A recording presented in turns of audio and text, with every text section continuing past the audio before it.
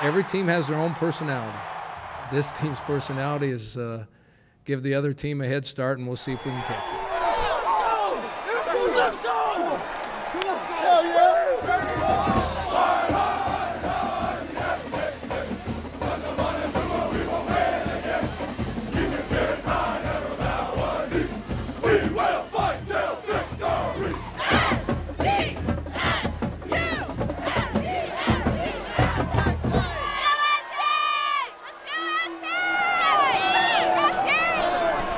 It's a great, great team, great group of guys, top to bottom. Not just the seniors, but all the, the young guys we got. And it's a, there's a bright future too.